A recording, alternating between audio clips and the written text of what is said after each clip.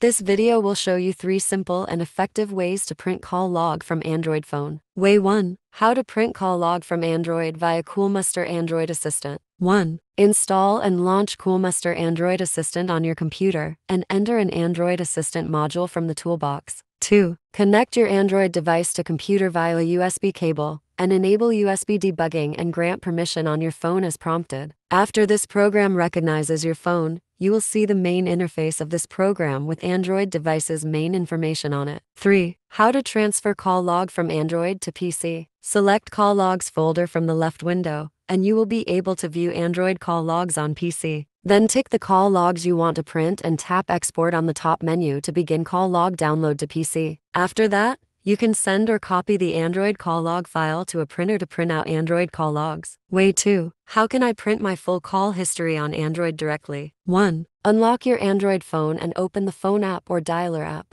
2. View call logs on Android. Tap log or call log or call history or recents or call list in some Android phones, and you will see all call history, the missed calls in red, the answered calls in blue, the outgoing calls in green, etc. To view the date, duration, call type, and more details, you can tap a single call history in the list or the exclamation mark behind a single call to view more. 3. How to print call log from Android phone. You can take a screenshot or several screenshots of the call history and send it to a printer or printing shop to print it out. Way 3. How do I print my call logs via Call History Manager? 1. Install and launch Call History Manager from on your Android phone. 2. Click All option on the top menu and tap Export to Excel. 3. After that, a notice will pop up to inform you that call logs has been successfully exported. And you can also tap Mail at the lower left corner of the notice to share the call log Excel file via Bluetooth, Gmail, Messenger, Google Drive,